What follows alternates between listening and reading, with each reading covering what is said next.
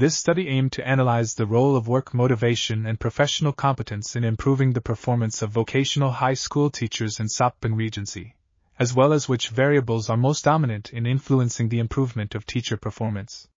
Researchers took a sample of 72 teachers from five vocational schools in Soppeng Regency with the sampling technique, namely random sampling. Data analysis was done using multiple linear regression analysis with SPSS software. The results showed that work motivation had a positive and significant effect on teacher performance, meaning that if the work motivation is higher, the teacher's performance will also increase. Additionally, professional competence also had a positive and significant effect on teacher performance, so that if professional competence is getting better, teacher performance will also increase.